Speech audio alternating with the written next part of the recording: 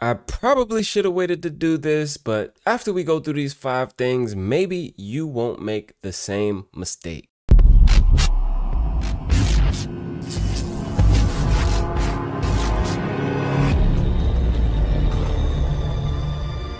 What's going on YouTube? H-Dub here, and you know we playing Raid. Today we're going to be talking about arena bonuses and the live crest that you, you know, receive from completing live arena battles. Let's talk about the crest briefly and five things that every player should think about before choosing to spin their crest. Now, as you all know, these crests could be obtained from winning live arena battles in a particular tier. This is similar to the system, you know, that works for Classic Arena and, you know, Tag Team Arena. It's the exact same thing, so we're pretty used to how this system works. Obviously, you know, the higher the tier you're in, then the more medals you're going to receive. I think we're all pretty familiar with how this works. If you've ever leveled anything in the Great Hall or bought something in the bazaar, then you know what to expect. I know, you know, you already knew this, but I said it anyway. It doesn't mean that you shouldn't at least consider the things that I'm about to mention. First, Live Arena can take a considerable amount of time, and depending on what your schedule is like, you may have more or less time to compete. This is probably the thing that has influenced people's feelings about Live Arena the most. The fact that it is not active for, you know, players to participate whenever they can and whenever they're available. It's just a bit weird. And honestly, I'm not sure why they made it that way. Hopefully, this changes in the future. Your ability to even be available for live arena, let alone spend time in like long, drawn out fights, picking champions, waiting on somebody else to like pick their champions is like, it's crazy, right? To get enough crests to start even upgrading arena bonuses, well, these area bonuses, sorry, means you have to be very strategic about the bonuses you you know you choose to upgrade. Like you should be strategic about this because it's going to take you a considerable amount of time to get them. Once you choose one, you don't get the medals back either, so this is all the more reason to just hold on to them until you've given it some thought. Second, because we're able to get CVC points from upgrading Great Hall bonuses, this leads me to believe that at some point we're going to get, you know, CVC points for upgrading the area bonuses as well. Now, CVC, you know, Great Hall points were nerfed, but it's still points nonetheless. And if you're someone who needs all the points that you can get, then you're definitely going to want to hold on to your crest. There's no rush to really use them. I'm not saying you have to do this, but it'll definitely help you as far as like discipline and mindset goes when playing this game. I feel like because they starve us of so many resources, it just sometimes gets real easy to start using them as soon as we get them. Trust me, I am guilty of this myself. Third, if you take a look at the actual areas, right, that we are able to upgrade, there are some that are going to be very enticing, and there are some that are going to, you know, you're going to look at them and say, why is this even here? Right? This is where we're going to have to take a good look at our accounts as individuals and say, do I really need this? Or can my gear and the options that I have as far as champions goes get me, you know, get it done for me already? Unless they plan to add extra levels to the potion keeps, I am really not sure why this is here. Maybe they do have some plans they haven't told us about, but this is just like really weird. This is a really weird addition considering there are dungeons missing from here. Most free to play accounts can like farm the higher levels of the potion keeps within a few weeks, you know, or less without any issues. So it's it's just weird. They have all of the dungeons individually set for upgrading, and obviously, we have the Hydra boss and the Demon Lord. You know, really quickly, I just want to say dungeons, they should definitely be like packaged together. Again, I don't know why they did this, but yeah, we all know why they did this. But really think about your account and you know what you can accomplish before you start upgrading these things, right? So I've already you know, started upgrading them and I, I didn't, you know, consider at first. Maybe I should have taken like accuracy and resist for Hydra.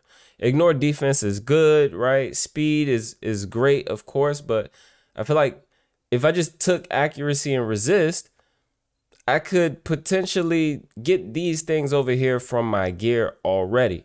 Now, in the early and the mid game, it might seem reasonable to start upgrading the Demon Lord area bonuses, right? But the truth is, this content can be very easily completed, you know, with time and efficiency. All you have to do is just be patient, you know, keep building up your champions, keep farming for gear because there are hundreds of combinations of, you know, teams that are able, you know, to get this done already. It's, it's no sweat. The dungeons may also seem very enticing, but like I said, much of this content is already able to be completed without these bonuses. Obviously, champion options are going to come into play because you're going to say, you know, H dub, I don't have the meta champs to, you know, do the dungeons at the highest stages. And I'm going to be honest with you. Depending on the level of your gear, these area bonuses aren't going to make a significant difference. Now, if you aren't able to do the hard mode dungeons, that is fine. Farm 20 or 25 or, you know, whatever you're able to complete until you either have the gear or the champions to progress further. You know, like I said, all of this content has already been completed before the addition of these area bonuses. You know, this is not to say it won't help your current comp in any way, but your current comps are fine if they work with a high win rate. If you've already been farming with them, there's no need to rush into, you know, upgrading these things. If you've already been farming with your comp, just set it and forget it. You do not have to watch it run. Fourth, fourth is going to be the areas that I feel like are going to be most beneficial for people to start upgrading. Um, you know, these are just the ones that, you know, I have thought to start upgrading myself for my account, but I feel like I did take a little bit of time to think about it. I didn't take any time to think about saving my crest though. Hydra is definitely going to be number one for me, seeing as though you need 18 different champions to complete the different levels. I don't have all of the meta Hydra champions, so I'm going with Hydra. I'm pretty sure most people in the player base do not have, you know, 18 crazy champions for Hydra. I know this because I'm one of those people. After that, I would say is the dungeon that you want to push higher the most. Dragon is going to be pretty easy even at stage 10 hard it's like not that crazy and there's so many combinations of champions you can use to complete it. It's really going to come down to the gear that you have. I feel like you know these area bonuses aren't going to make a, a huge difference unless you could like upgrade it to level 10 which is going to require you to get to gold the gold stage in live arena. Obviously on normal modes you know dragon is the easiest dungeon to complete and will probably be one of the last things that people touch before, you know, they touch potion keeps. Fire Knight is probably going to be next because Fire Knight is one of the harder dungeons, even on the normal mode. You know, Fire Knight is one of the harder dungeons to complete. I'm sure the majority of the player base in the early and mid game do not have a fast team for 20, nor a reliable team for 25. It gives really good gear, so it's definitely an easy pick for sure. Next, I would say is clan boss. Now, depending on where you are in the game, upgrading some of the clan boss bonuses is going to be the difference between you moving from a three key to a two key to a one key ultra nightmare. End-game players probably won't touch this at all unless they want to go for some sort of like crazy, ridiculous damage record or experiment with different comps. All of this is going to be account dependent, of course, so use this with your own discretion as far as these particular stats goes, you know, with these different area bonuses, ignore defense, you know, speed, accuracy may be the most beneficial stats to start working on first. Depending on the area and what champions you use in your comp, attack, HP, and defense, I would say are secondary stats to try to upgrade.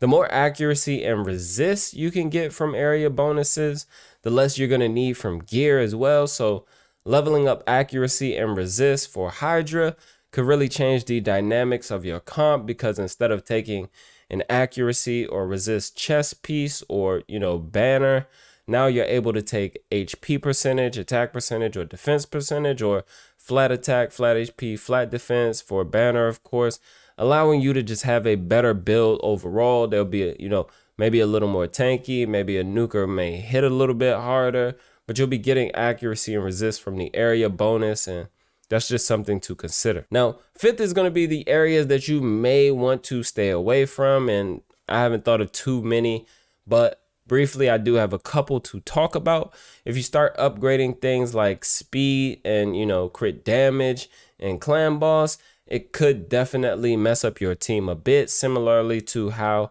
if you upgrade, you know, your your faction guardian, depending on the champions that you have in your faction guardian, upgrading speed and any one of these, you know, faction guardians, if you max it, could definitely mess up your comp, right?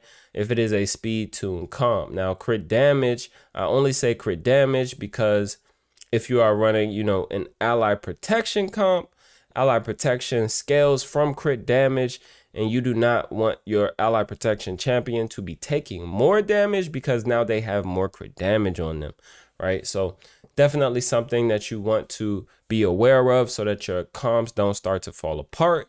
The next one is going to be in the ice golem. If you in fact get around to upgrading things in the ice golem, and this is going to be something that educated potato actually, you know, pointed out to me, which I think was a great tip. Ignore defense and the ice golem you may want to stay away from just because you know you don't want to be doing that much damage to the boss or you're going to proc his passive and he's going to start smacking. So definitely want to stay away from that one. Shout out to Educated Potato for, you know, pointing that out to me. Kudos to him. Go follow his channel. Again, I don't know why Iron Twins and Sand Devil are, you know, missing from these area bonuses. Hopefully they do add them at some point. It's honestly crazy to me, but that's going to be all for this one, guys. I really appreciate you guys taking the time to, to support and watch. Hopefully this helps you out when thinking about area bonuses. And don't forget to see what you can accomplish before upgrading. But that's all for me, guys. I've been HWZ. Until next time, be good and be well.